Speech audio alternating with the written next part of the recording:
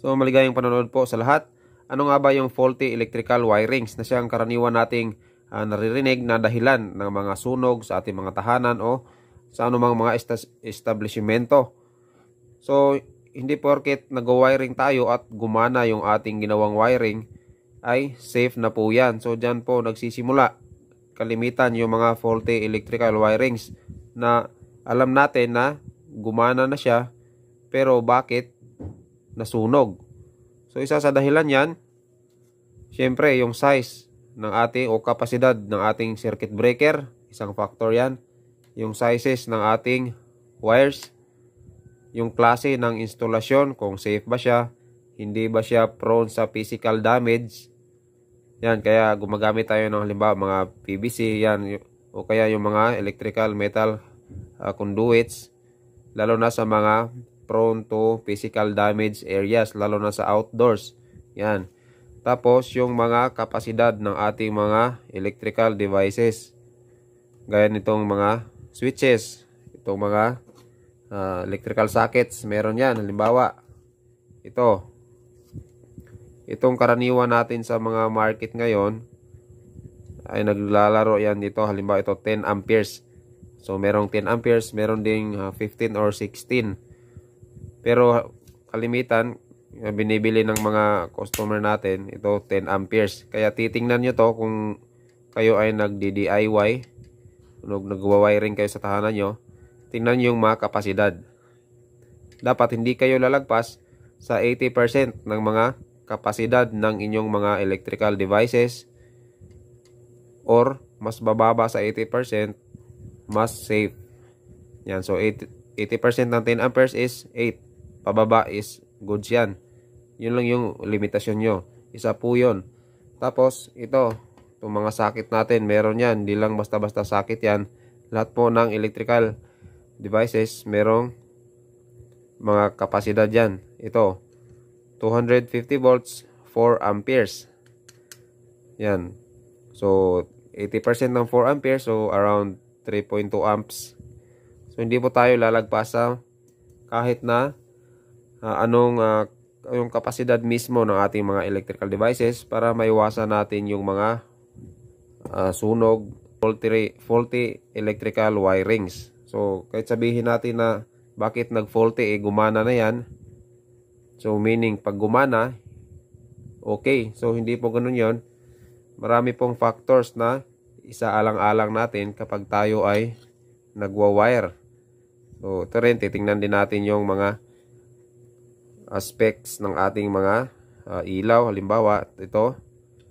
Yan, 15 watts yan.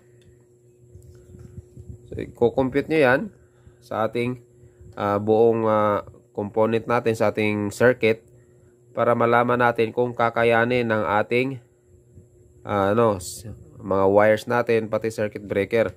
Tapos yung minimum pala na allowed ng ating Philippine Electrical Code ng circuit breaker para sa ating mga ilaw is 15 amperes. So, yan yung pinaka minimum. So, hindi na tayo pwedeng lalagpas ng 10. 15 po ang minimum.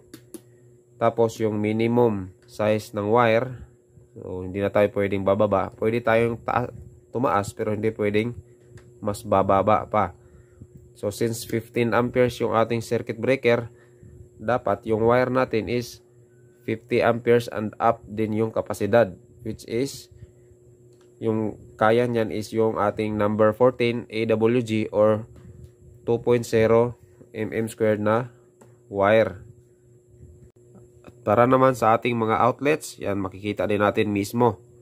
Either dito sa likod or dito sa harap yan. Makita niya niya ito. Halimbawa ito ay 16 amperes. Yan 16 amperes. So hindi rin kayo dapat lalagpas sa 80% ng kapasidad nito sa ating mga appliances na ina, ano, pina-plug in natin dito.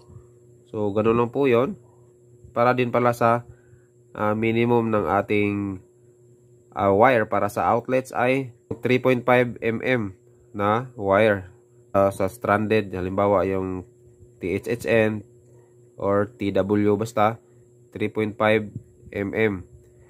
Yung katumbas niyan is 20 amperes. So, since 20 amperes yung ating wire, so yung ating circuit breaker din, kapag ka outlet natin sa minimum natin nito ay 20 amperes din na circuit breaker. So, nabanggit ko na lang din yung klase ng wires. So, isa din yan sa uh, factors ng mga faulty electrical wirings. Kasi yung mga klase ng wires natin ay hindi lang po basta-basta uh, may classes ya o classification na walang gamit o walang purpose. So, siyempre tayo or halimbawa mga customer natin, siyempre hindi natin may iwasan na nagtitipid.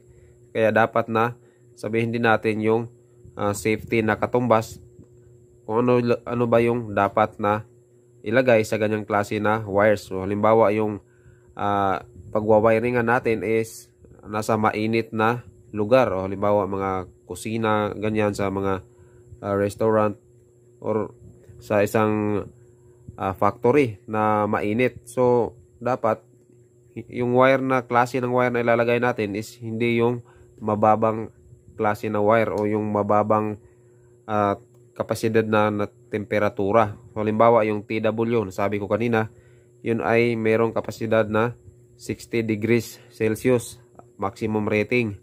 Tapos yung THW na wire, makikita naman natin yan dito. May mga nakasulat yan, hindi lang klaro sa ating camera. Basta titingnan nyo, lahat ng wire meron yang nakasulat na specs.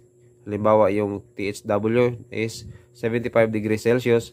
Tapos yung THHN na siyang aking inirekomenda sa mga customer ko o dito sa tahanan o yun yung karaniwan na ginagamit talaga yung THHN yun yung 90 degrees Celsius so ngayon po kung nahirapan kayong mag-compute sa mga total loads nyo so meron tayong mga videos dyan sa ating channel playlist meron tayong playlist dyan sa electrical wirings at sa mga electrical formulas na pwede nyong uh, maging guide kung kayo ay nagdi-DIY o nag-aaral sa o baguhan sa mga electrical ganito. Although yung ating mga tinuturo naman is uh, mga basic lang pero napaka-importante po sa mga nag-aaral at sa gustong mga nag-DIY sa kani-kanilang mga tahanan. Kasi nga nagbabase din tayo sa standard po ng ating Philippine Electrical Code para naman po sa safety ng ating mga viewers. So dagdag ko lang din para sa total safety ng ating mga electrical wiring sa ating tahanan, at least uh, meron sana yung uh, annual check-up o preventive uh, maintenance. So, sa mga factories or sa mga buildings, talagang meron yan, sinusunod po yan. Kasi nga merong mga safety officers, pero yun nga sa ating mga tahanan, halimbawa, ay hindi po nasusunod. Kasi nga, ano, uh, karaniwan sa mga customer natin, nagpapaayos lang o nagpapacheck kapag ka meron ng problema. Kaya, ino sinasabihan ko rin na ganito, dapat merong at least uh, once a year na toro checking sa lahat ng mga electrical or at least 6 months sa mga doon sa mga prone sa vibration na mga halimbawa yung mga malalaking uh, motors, ganyan, mga panel boards, bolt tightenings, pag-check ng amperahe ng uh, linya ng mga loads or kung meron kayong thermal scanner maigi din para malaman natin kung ano yung mga devices o wires na malapit nang mag-overload. So makikita nyo, nyo yan doon sa thermal scanning. Kaya sa mga may katanungan dyan at mga clarification, paki-comment lang po sa ating comment section at pwede kayong mag-message rekta sa ating uh, ah, FB page.